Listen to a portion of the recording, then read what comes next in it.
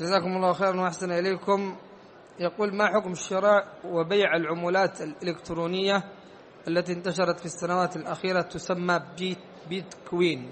العملة الإلكترونية عملة لأشخاص أنشأها أشخاص وليس لها مرجع نظام دولي ولا قيمة لها في حقيقتها فهي ليس لها شيء ترجع إليه لا قوة اقتصاد.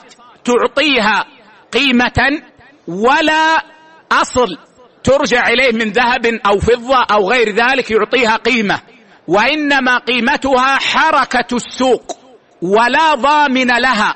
لا توجد دولة تضمن هذه العملة. يعني يمكن أن صاحبها يغلق الموقع قيمتها وخلاص انتهى الموضوع. وعليه فلا يجوز التعامل بها.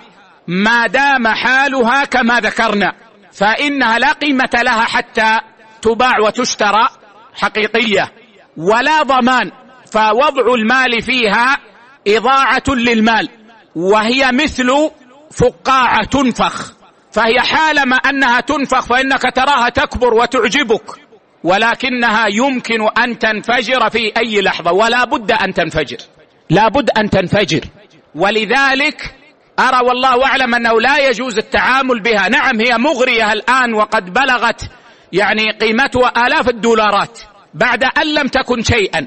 لكن العبرة بالحقائق وعليه أنا أفتي بأنه لا يجوز التعامل بها ما دامت على حالها الموجود. نعم.